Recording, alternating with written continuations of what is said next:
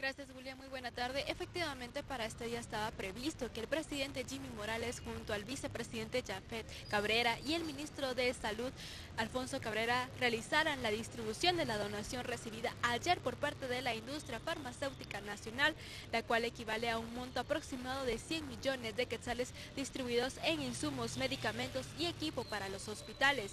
Sin embargo, el ministro informó que hubo un atraso en el tema de logística con la elaboración de las actas que describen la cantidad de productos y qué productos estará recibiendo el Ministerio de Salud para ser distribuido a los hospitales. Tienen unos problemas con la eh, elaboración de las actas, etcétera, y eso va a demorar la entrega de este aporte. Los abogados son un poco más eh, específicos entonces ellos tienen que levantar el acta y dejar constancia de todo lo que se llevan y lo que se traen.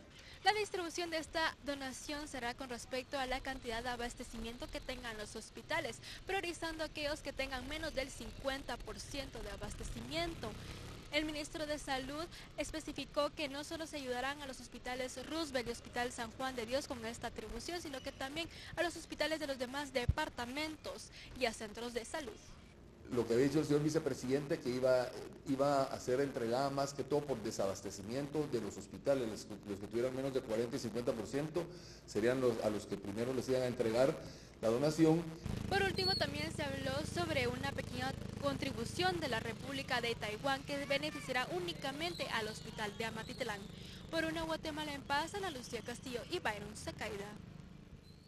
Y el ministro de Salud, Alfonso Cabrera, dio a conocer al equipo de trabajo que le estará apoyando durante su gestión. Va a estar el, doctor eh, Rodolfo Sea Flores como viceministro de Atención Primaria, el doctor Carlos Mazariegos como viceministro administrativo, el doctor Mario Figueroa como viceministro de Hospitales y el doctor Luis Felipe García Ruano como viceministro del interno, Técnico. Técnico. Y quisimos conocer el plan de trabajo del ministro a cargo de la cartera del Interior, pero no fue posible porque se encontraba en reuniones administrativas para conocer el funcionamiento de su cartera. De esto nos informa nuestra compañera Ana Lucía Morales. Ana, buenas tardes. Adelante, por favor. Gracias, buenas tardes. Efectivamente nos hemos acercado en el Ministerio de Gobernación para que el ministro Francisco Rivas Lara pueda darnos a conocer cuál sería su plan de trabajo al frente de la cartera que es la encargada de brindar la seguridad a el país y principalmente a sus ciudadanos.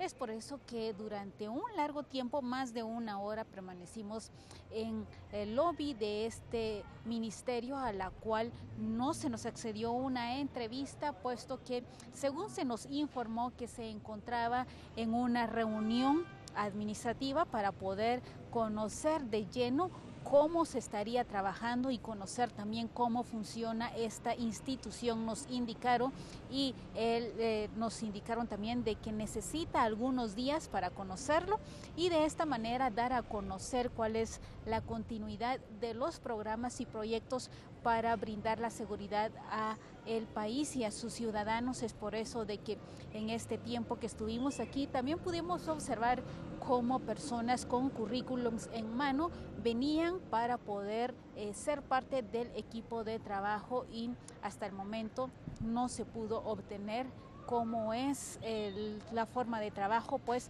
hasta el momento, según también nos informaron, los encargados del Ministerio de Comunicaciones y Departamento de Comunicación del Ministerio de Gobernación es de que toda la transición se dio desde el Ejecutivo, por lo tanto se desconoce de cuántas reuniones eh, se realizaron o no se realizaron con la antigua ministra Eunice Mendizábal. Es por eso de que quisimos conocer cuál es su postura y su plan de trabajo, pero hasta el momento no se ha podido conocer, puesto de que él necesita días para poder conocer el trabajo que estaría emprendiendo aquí en la cartera del interior. Por una Guatemala en paz, Ana Lucía Morales y Juan Carlos Pérez.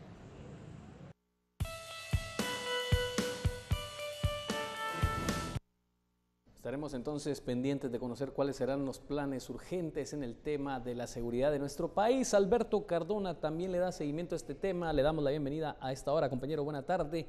El tema de las cárceles, el tema de los operativos en el traslado de reos continúa también preocupando. Algunas amenazas se preveían para esta mañana. ¿Qué ocurrió, Alberto? Infórmanos, por favor.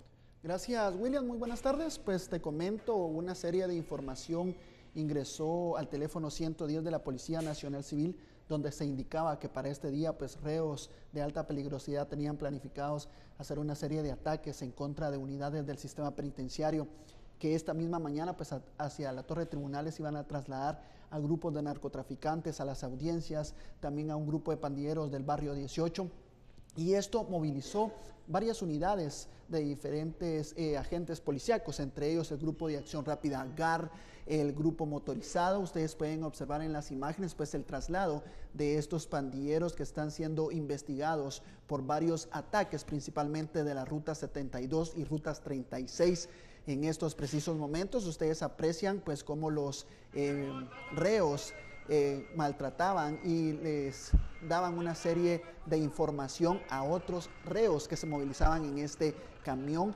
Esto fue lo que generó pues la movilización como repito, de varias unidades fuertemente armados, los policías, también los guardias penitenciarios, William.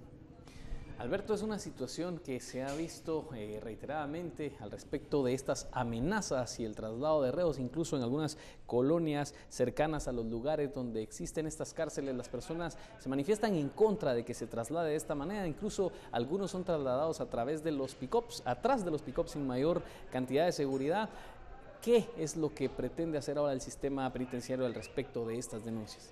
Bueno, William, eh, pudimos eh, eh, dialogar con algunas autoridades del, sistema penitenciario y ellos indicaban que estos traslados que se realizan en estos pick-ups de las, de las diferentes unidades policíacas se debe al hacinamiento de tantos reos en las diferentes prisiones. Pero sobre esta amenaza ellos han incrementado sus medidas de seguridad en los alrededores de, la, de las oficinas del sistema penitenciario y también al momento del traslado de estos internos. Ustedes observan pues a los distintos herreos de diferentes cárceles, se les quitaron los zapatos, se les revisaron de pies a cabeza para determinar que no portaran armas de fuego o armas punzocortantes que muchas veces han generado pues las trifulcas dentro de los propios tribunales de justicia. Muy bien, Alberto, estaremos pendientes entonces de esta situación. Ya lo denunciábamos días atrás, una situación que se complica a través eh, del sistema penitenciario, ya las diversas eh, trifulcas que se han tenido, con las que iniciamos también este año 2016, con las que concluimos el 2015, que también han generado muerte y que, como volvemos a reiterar, una crisis también en el sistema penitenciario. Así es, William. Eh, muy bien lo indicabas, muchos de los vecinos de las diferentes colonias, principalmente en los sectores de Misco, pues día con día están solicitando que se trasladen los tribunales de justicia hacia otro sector, pues ellos no quieren el traslado eh, que se efectúa diariamente en los alrededores de Misco porque hay muchos centros eh, educativos y esto ha dificultado también y el temor de los padres de familia al momento que son trasladados reos de como ellos lo indican, pandilleros de alta peligrosidad. Muy bien, Alberto, seguiremos indagando al respecto de este tema. Por ahora, vamos a hacer una pausa comercial. Quédese con nosotros, regresamos con las noticias que se han generado en el mundo. Ya volvemos.